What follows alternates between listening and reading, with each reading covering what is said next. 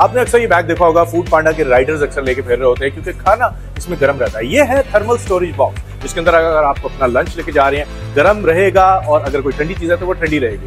ये पर्सनली मुझे खुद बड़ा पसंद है, क्योंकि इसके अंदर मैं यूजली अपना लंच कैरी करता हूँ।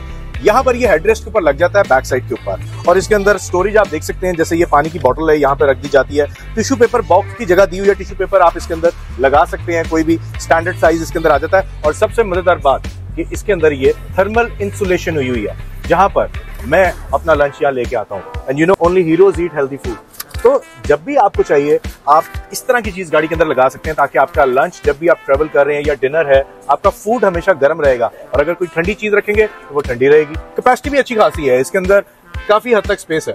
तो फिर, है ना ज़बरदस्त प्रोडक्ट तो आज ही अपना ऑर्डर प्लेस करें और ऑर्डर प्लेस करने की हमारी वेबसाइट विज़िट करें। सेगलमोट डॉट पी अलावा